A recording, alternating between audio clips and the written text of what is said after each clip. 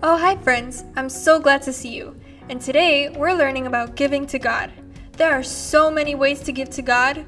We can give our time by serving in our church or helping others. We can give to God by telling others about Him. We can give to God by showing His love to others. And we can give to God by giving our tithes. We can also give to others. Raise your hand if you've ever shared a snack with your friends. That's awesome! Raise your hand if you've ever shared your toy with a friend or with your brother or sister. You're so good at giving to others. Today, let's learn I will give. Let's say that together I will give.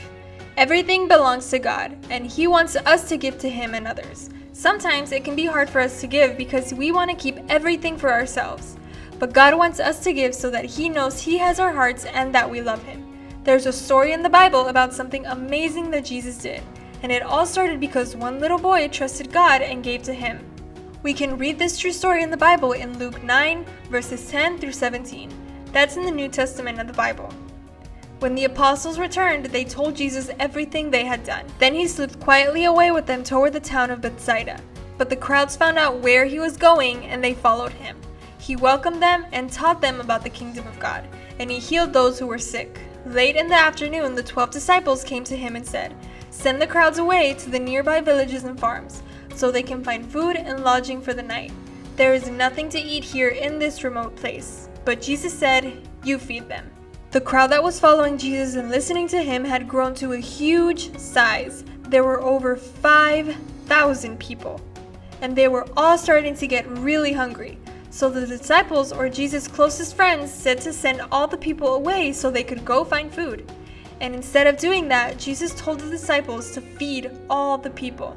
That's a lot of food to find. So the disciples started walking around the crowd to figure out what to do about the food.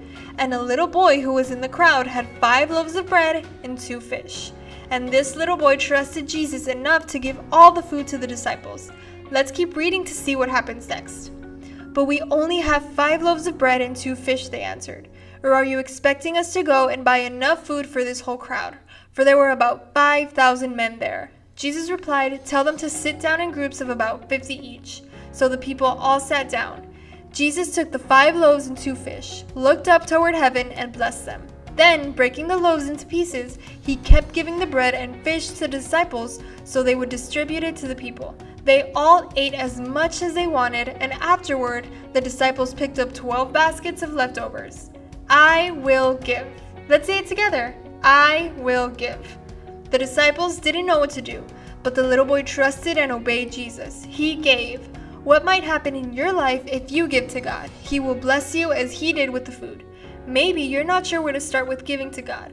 Just start by helping others. When you help others, you're serving, and that's part of giving to God. Maybe you can start helping at your church. Maybe you can give a toy to a friend who doesn't have toys.